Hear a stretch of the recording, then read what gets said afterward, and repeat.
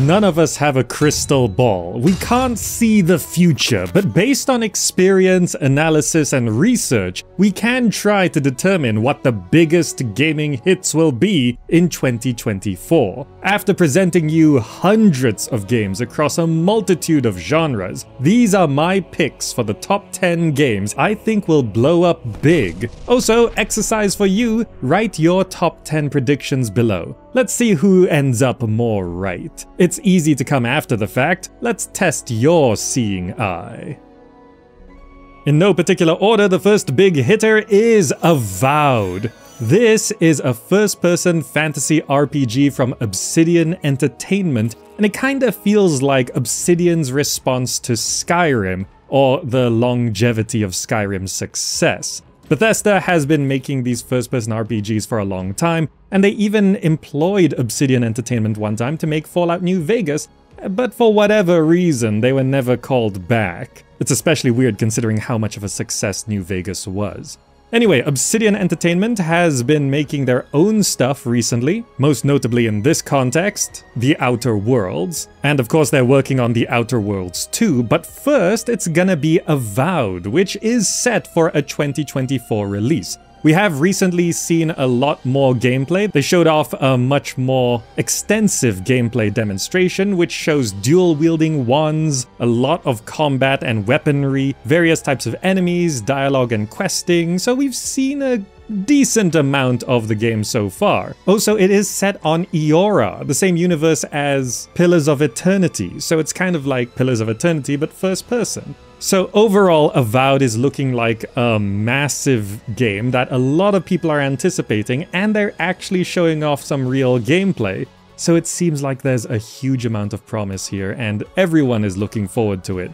Could Avowed actually be the Skyrim killer? Of course, nothing is really gonna kill Skyrim. Uh, not even Elder Scrolls 6 will kill Skyrim. I mean, I'm still playing Morrowind every now and then. But could this be a real competitor to Bethesda's fantasy first-person RPGs? Especially considering the so-so reception of Starfield, now would be a good time to step into Bethesda's territory. And Avowed seems like it's got everything going for it, especially since Obsidian Entertainment was acquired by Microsoft, and now it's an Xbox Game Studios game, so they have a lot of backing, a lot of promise, they've had experience making these kind of games, and it looks like they're going for the jugular.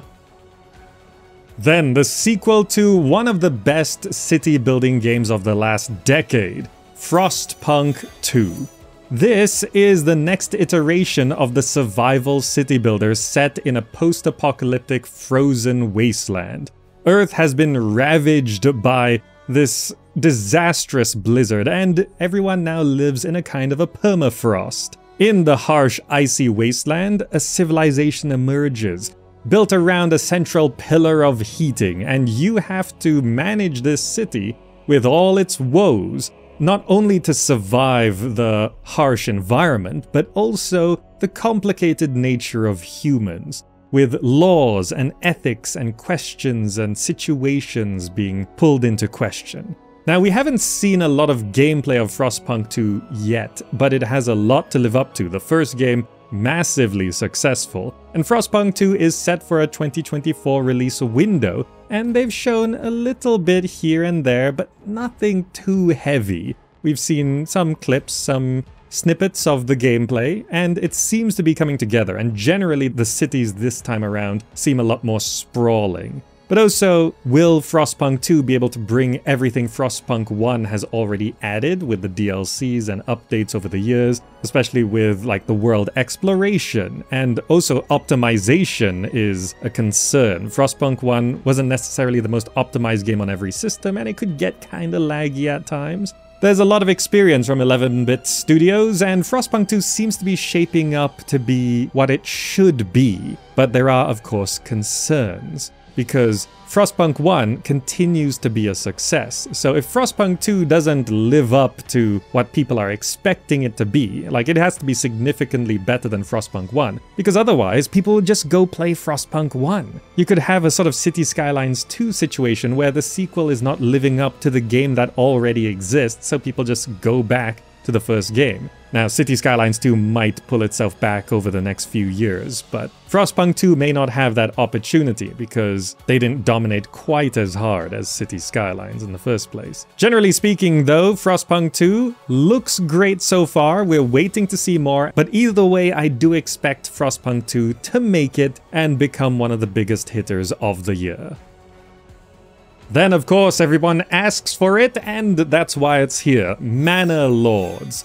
Yes, yes. Manor Lords is one of the most anticipated games of 2024. And it's even got a fixed release date, which, remember, release dates can change. It's not a guarantee. But right now, it is set for the 26th of April 2024, so a couple months away from when I'm making this video. And Manor Lords is this fantastic game, a strategy game with city building set in a medieval world, and there's large scale tactical battles, and the city building isn't just an aside, it's like a city builder, and there's economic simulations, and across the map there's trading and diplomacy, and of course all the wars and battles.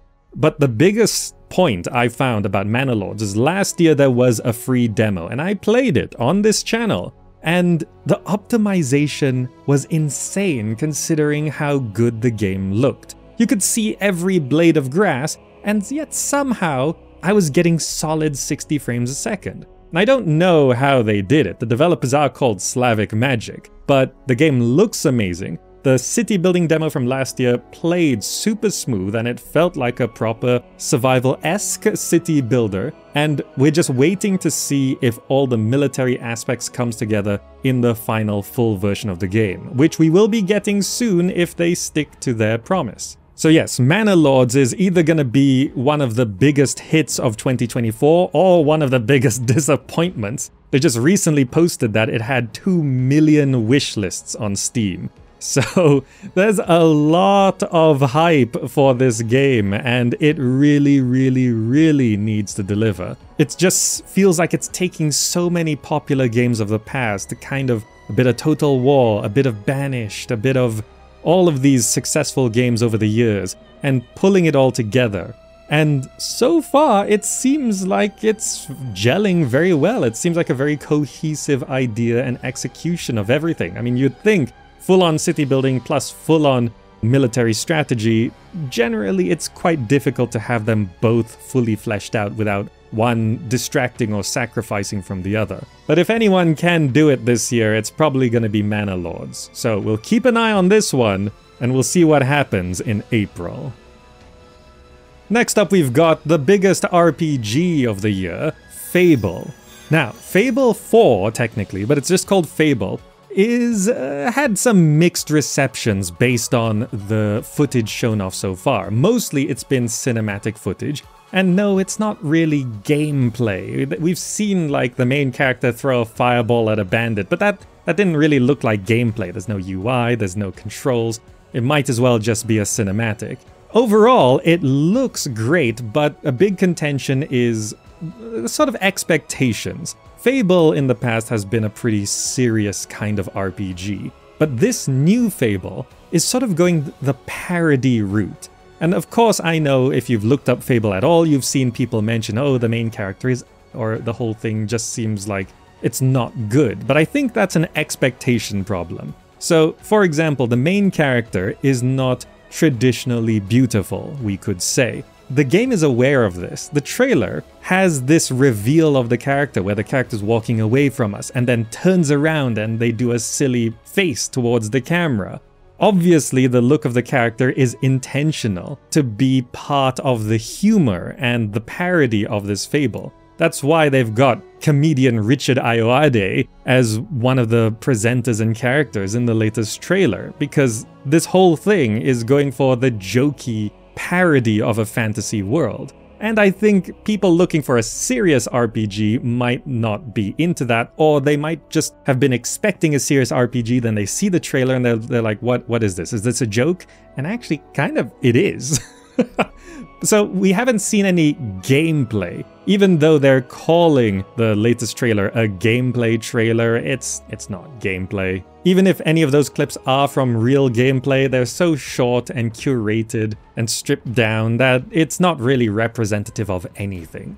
There's no fixed release window for Fable, but I can't imagine it being pushed much further. They've been hyping it up for so long. I imagine Fable will be a 2024 game, but of course it could be delayed. But if it does get released, it will make news waves for sure. A return to a long-standing series, but it's gonna be contentious considering how much of a deviation it is from people's expectations. Either way, the news of Fable through 2024 will be interesting, and I can't wait to see with my eyes what we hear with our ears.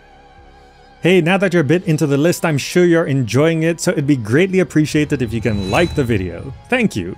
Also, if you think you can predict the future better than I can, make sure you comment below. Alright, next game.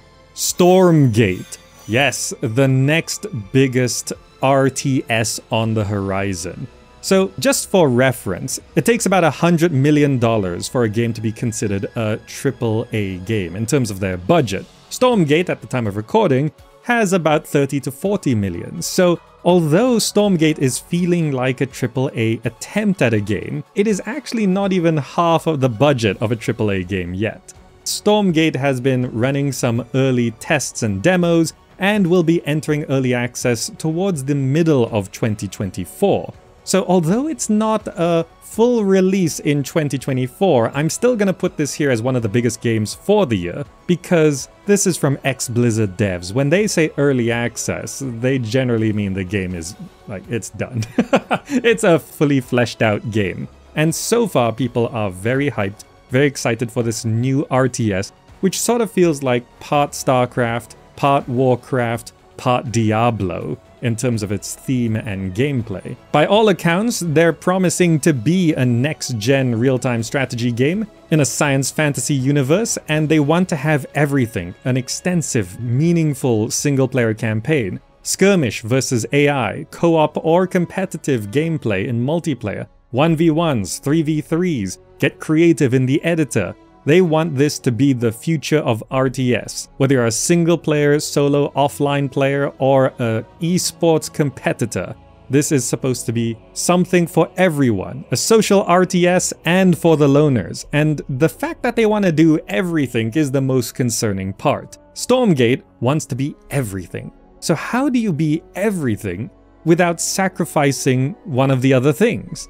Especially when they don't, at the moment, have a AAA budget. They did have a Kickstarter and they raised a couple million, which is great. So they've got a lot of money, but a lot of money is not a lot of money in the gaming industry. There are games costing $300 million out there. Stormgate is like 10% of that budget right now. I think they're looking to enter early access and through early access continue to raise funds and eventually Stormgate will fully develop into everyone's dream. At least that's the goal. And they might be able to pull it off. They have the pedigree, they have the experience, they seem to have a good game coming together, and the initial demo during Steam Next Fest has got a lot of people hyped. They seem to be enjoying it.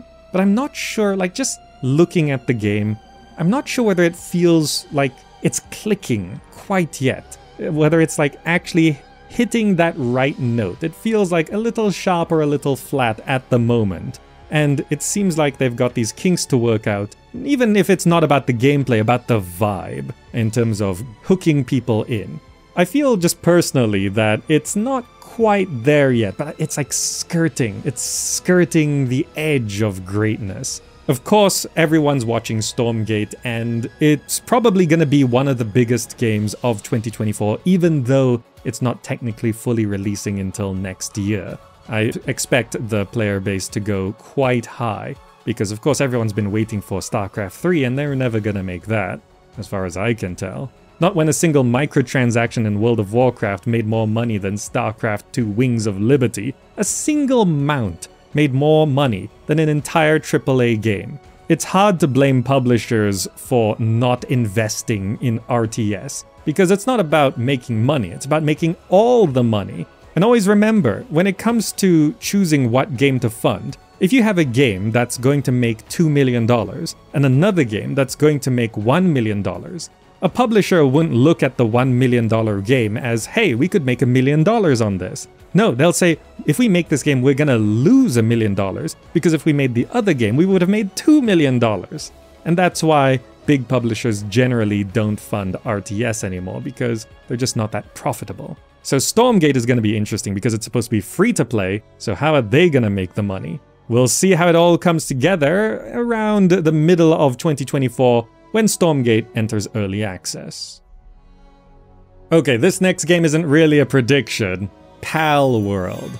So Palworld entered early access in January 2024, and it became the biggest game on Steam. It broke Steam records. And if you haven't heard, this game is basically Pokemon, but it's a survival open world crafting game, but also it's realistic in the sense where you can enslave the pals, you can put them to work, you can force them into indentured servitude. You can even capture humans in the well, they're not called Pokeballs, but they're Pokeballs. You can capture humans in them and enslave humans. Like it's it's a grim sort of reality of what humans would really do if Pokemon existed in real life. Uh, but, you know, Palworld became insanely successful. I mean, it's got over 200,000 user reviews at the time of recording at 94% positive. It's 1% away from being overwhelmingly positive on Steam. So it's already a massive success, and I don't think anyone was predicting Palworld would blow up quite that big,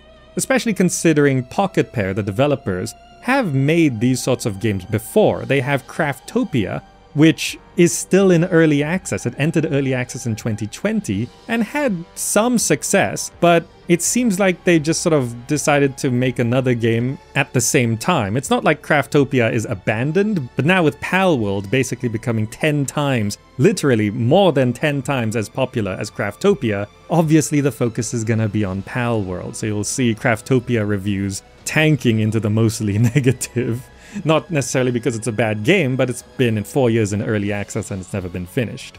So Palworld is another one that's not fully releasing in 2024, and it might not fully release ever, but it is already one of the biggest games of the year. And if you jump in, just keep in mind that what the game is right now is what you should expect to get from it don't count on it ever getting better or being released fully or anything like that. It might someday, but don't count on it. If you get into Palworld now, then Palworld now is what you're getting into, okay? But yeah, it's just factual at this point that Palworld is one of the biggest games of 2024 and actually one of the biggest games ever. I've been listing it for years in the upcoming survival games lists, and yeah, it, had promise, but no one, I think, expected it to be this much of a hit.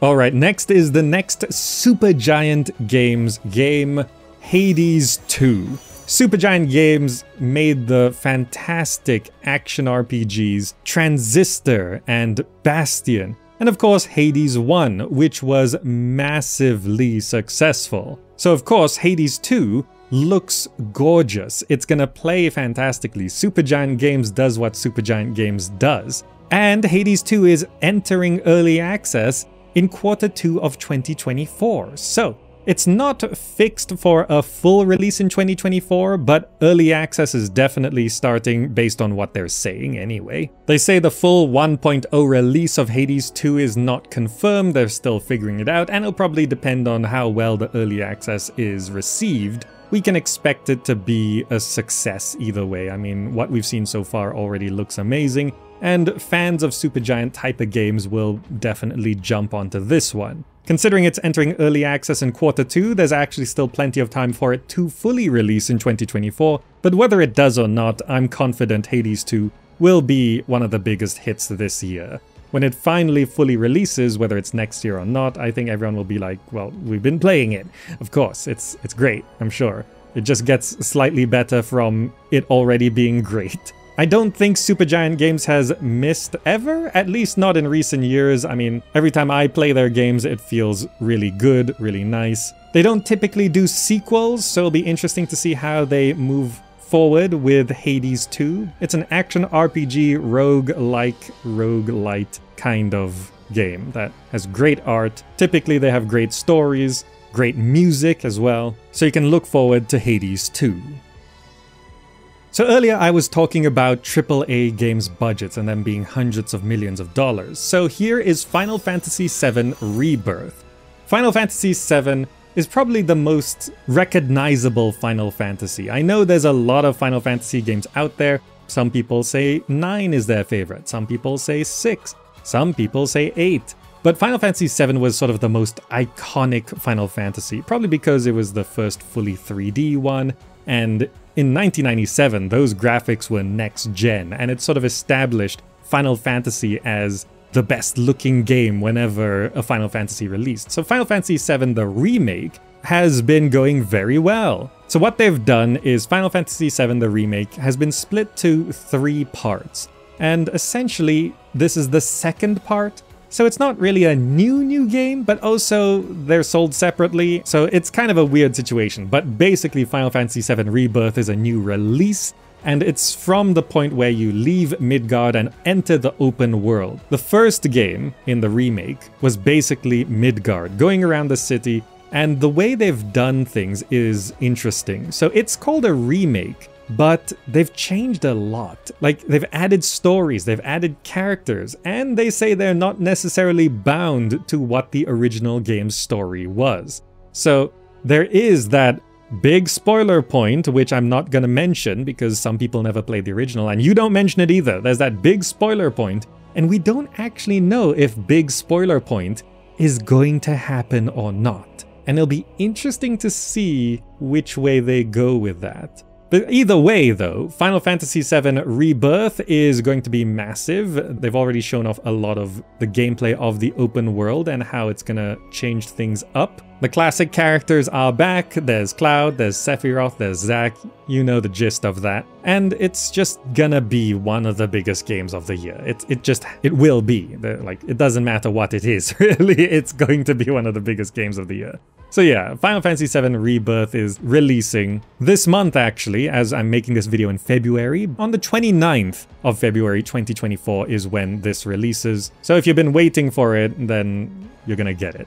But it's been a while, so maybe recap the story of part 1 before you jump into this one. So I expect Final Fantasy VII Rebirth to just continue delivering on what people expect them to deliver. Next up, we've got a Star Wars game, and those have been going quite well recently. This one is called Star Wars Outlaws. This is an action-adventure game, and they're saying this is the first ever open-world Star Wars game set between the events of The Empire Strikes Back and Return of the Jedi. So, I think that's just an excuse to use the term first ever, but sure. You'll be exploring distinct planets across the galaxy, both iconic and new ones, and you play Kay Vess, a scoundrel seeking freedom and the means to start a new life, along with her companion Nix. You fight, you steal, you outwit your way through the galaxy's crime syndicates as you join the galaxy's most wanted. Basically, in traditional fashion, it feels like a space western and you're the outlaw, the anti-hero who goes around breaking the law but doing good, that sort of thing. This looks like a AAA big budget Star Wars game and it seems like it looks pretty good. I mean, the gameplay and story and cinematics they've all shown off so far look pretty amazing, and that's why I think this will be one of the biggest games of 2024. There just seems to be so much to it, and of course I know a lot of people are burnt out on these kind of games, so you're gonna see another, oh, another open world action adventure. Yeah, okay. What, we're gonna have detective vision and bandit camps? Uh, maybe, but that's what sells a lot of times, and the Star Wars games have been going pretty well recently. Star Wars Jedi Survivor sold well and was well reviewed, and I think they're working on a sequel to that one as well. But for 2024, we're gonna have Star Wars Outlaws, and you can see from the footage yourself whether this is something you want to be waiting for. It is supposed to be releasing in 2024, so we'll see exactly when that happens.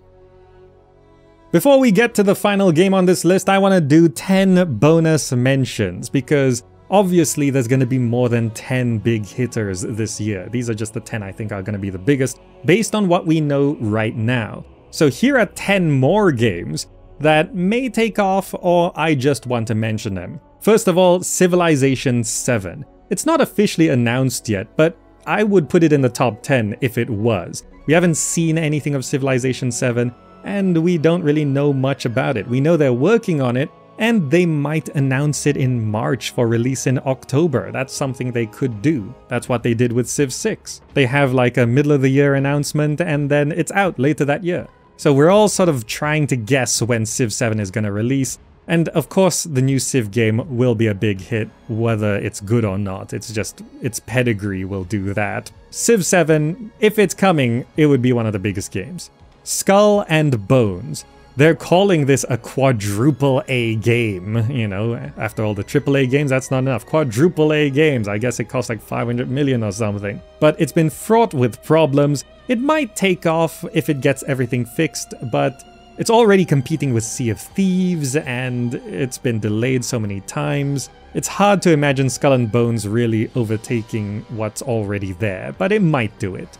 Dragon's Dogma 2. This is likely to be big and it's releasing soon, but I'm not sure whether it's going to be one of the biggest games in the year. There's a lot of competition in the action adventure and action RPG realm and it will probably do well, but I'm not sure it's going to blow up blow up.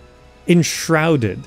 This is a recent survival game that blew up kind of recently alongside Palworld, but Palworld is still eclipsing it by a significant margin, and it's hard to see whether Enshrouded will actually pick up as it develops and somehow catch up to Palworld, or it's just gonna be in the background. Homeworld 3. That has a lot to live up to, but it's the only AAA RTS fully releasing in 2024.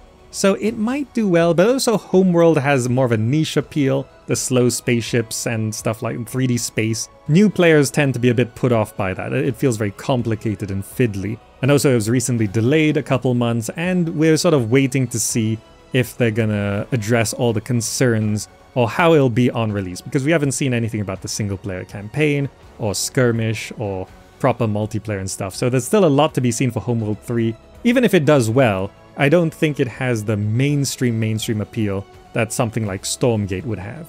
Tempest Rising. I want to mention this because, of course, a lot of people are looking at the spiritual successor to Command and Conquer. It may be the return of Command and Conquer. Not officially, but EA is not going to make another PC Command and Conquer game. Their mobile games are making too much, as in their mobile Command and Conquer games are making too much money. So I'm not sure whether Tempest Rising will really blow up. I don't expect it to blow up into the millions of players or anything like that, but it might do well, and of course I'm looking forward to it. Ark 2. Ark is a survival game that has science, technology, and dinosaurs, and the first game did sort of go viral, but it's always been a kind of bit of a mess, and Ark 2 will likely be a bit of a mess for years to come as well. Ark Survival Ascended released last year, to mixed reviews and it's in early access to the end of 2024, so I don't see Ark 2 releasing in 2024 and competing with Survival Ascended. I feel like they want to finish Survival Ascended and then move to Ark 2, but also Survival Ascended is getting mixed reviews, so they might just, you know, abandon that or something. It's hard to tell. But either way, Ark is always a bit of a mess, which sort of prevents it from becoming one of the biggest games of the year. Hollow Knight Silksong there's no confirmed released window right now, and it's been delayed before, but Hollow Knight is such a popular and huge hitting Metroidvania. And the sequel, Silksong, has been anticipated for years, and people are just waiting for it. And what we've seen so far looks great, but it's hard to tell whether it's going to be a 2024 game. It could easily be pushed into 2025 or even later. But if it does release this year, then it's going to be a massive hit. Crimson Desert. Everyone's talking about this when it comes to RPGs, and there's an insane level of promise, but will it actually do it? Now, it's supposed to release later this year sometime, but it could be delayed. Crimson Desert has been talked about for years. I've listed it as an upcoming game for years, and the trailers we've seen don't look like full-on actual raw gameplay. It's still very heavily curated. It might be real gameplay, but it's hard to tell whether it's just the best bits over a 10-hour gameplay session, and most of it is not like that. I still want to see much more of Crimson Desert first, and I'm not 100% confident that it will release in 2024. And I'm gonna mention The Sims 5. This has been teased for a long time from EA. There's no confirmed window, Probably not 2024, but there is a chance. But also, I should mention that Paralives, a uh, new competitor to The Sims, is supposed to be releasing in 2025. And then Paradox has their own Sims competitor called Life by You, but that seems a little tentative considering how City Skylines 2 is going. So The Sims 5 has its competition, but the competition seems to be floundering a little bit. So I'm not sure whether The Sims 5 will want to release this year or whether they're gonna just take their time and maybe it'll be next year. But either way, it's not been fully revealed or confirmed any kind of release window. But I wanted to mention it because if The Sims 5 does release, of course it's to be one of the biggest games of the year. Alright, then the 10th game I think will be a massive release in 2024, Black Myth Wukong. Now, I know there's a lot of skepticism about whether this game is actually going to release. Now, I'm mentioning it with some confidence because they have actually put a specific release date, not a release window, they've set it for the 20th of August 2024. This is an action RPG rooted in Chinese mythology, clearly about Sun Wukong, the Monkey King, and you explore the world fighting these fantastical bosses in action packed combat, and it's kind of like a Dark Souls but Asian, and it's Sun Wukong. So it looks phenomenal. What they've shown off so far looks amazing. And the hype for it, Black Myth Wukong has been massively hyped for years. I have listed it before in past years, and people are just so much into it based on what they've seen. If this game delivers what the trailers are showing, then it's gonna be absolutely massive. Though, of course, we're all still wondering, really? 20th of August 2024? Is that really gonna release on that date? Always remember, a release date is not when a game is going to release, it's just a picture of a release date. It may release on the 20th of August 2024, but they could delay it. Having said that, August is not too far towards the end of the year. It's actually kind of the middle of 2024. So even if it does get delayed, it might still be this year. But for now, it's set for August, and Black Myth Wukong is likely to be a huge explosion in gaming. Whether it delivers on its promises or not, it's gonna be a thing.